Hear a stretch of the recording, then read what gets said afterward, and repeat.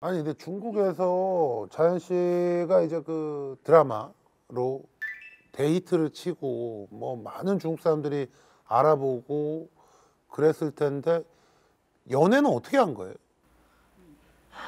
연애는 다 하죠. 다 하는데 이제 아니 질문다운 단지- 질문을 하죠. 중국은 연애하기가 어. 참 좋습니다. 아, 왜냐하면 100% 사전 제작이에요. 아, 중국 연애는 그리고 모든 영화 드라마도 다 한 도시에서 촬영을 다 해요. 그러니까 무조건 다 숙소에서 생활해요. 아. 네, 그러니까 같이 밥도 먹고 그러니까 같이 한 100일을 계속 어. 네, 그러니까 그렇지, 정이 들 수밖에. 어. 아니 근데 그 그러면 그 뒤는 사귀고 나서 나서는 드라마가 끝나고 나서 그 다음에는 어떻게 만나요? 그 다음에는 저희 효광 씨가 많이 애썼죠. 아, 네, 매일 비행기 타고 저한테 날라왔었어요. 비행기 타고 네, 저는 또 술 먹고 보고 싶다고 막뭐 하고 난, 난 기억이 안 나는데 그 다음날 보면은 문 똑똑 두들기고 그, 너 여기 언제 왔어? 뭐 새벽 비- 비행기 끊어서 오고 예, 많이 음. 했어요. 열정적이셨네. 네. 그 프로포즈 할때 네. 추자연 씨가 무릎을 꿇고 아 결혼식 때 어 추자연 씨가 무릎을 꿇고 어 나랑 뭐 결혼해 줄래? 어. 어, 근데 어떻게 그런 이벤트를 할 생각을 했어요? 어 일단은 제, 어 저는 그 그 저희 남편한테 뭐 하나 한 이벤트 같은 걸 해줘 본 적이 없는데 항상 이제 제가 어쩔 수 없이 중국에 있다 보니까 모르잖아요. 그러니까 항상 효광 씨한테 챙김 받고 맨날 이렇게 받는 거에 익숙한 거예요. 그러다가 이제 결혼식을 하는데 저희가 이제 살다가 결혼식을 했으니까 음.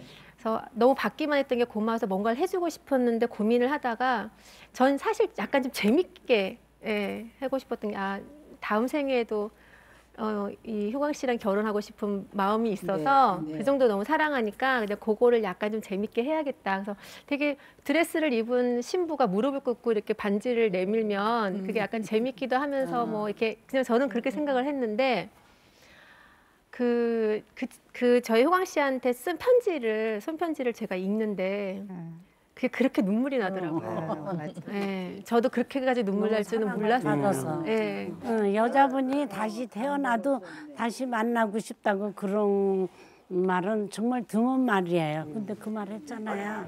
네, 네, 네.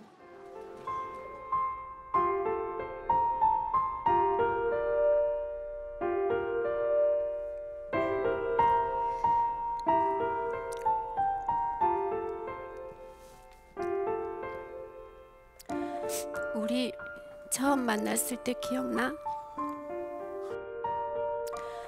우리 처음 만났을 때 기억나?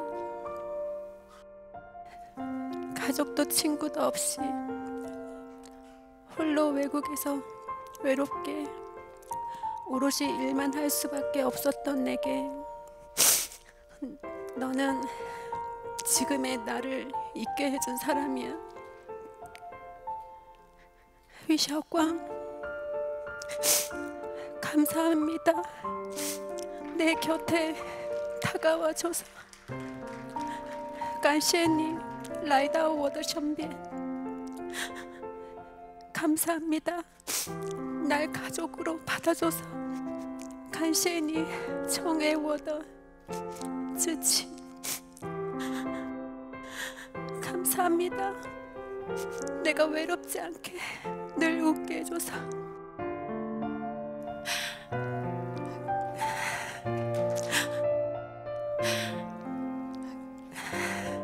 엄마 下辈子如果见到我的话还是跟我在一起吗 다음 생에도 나랑 꼭 결혼해 줄래?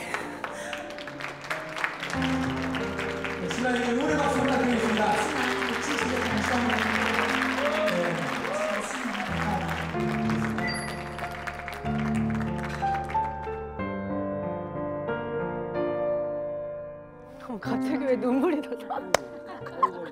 아 오랜만에 아 오랜만에 우리 효광 씨 얘기하니까 음. 아, 그래서 보고 싶고 또 보고 싶네. 네. 그 다시 만나도 난 당신과 네. 결혼하고 싶어. 어 그래서 이 질문은 똑같이 저희 작가분들이 어머님들한테 어, 하려고 했는데 어머님들이 그 질문은 빼다오. 네, 제발 그 질문만 하지 말아다오 해서 지금 아버님과 다시 안 만나요.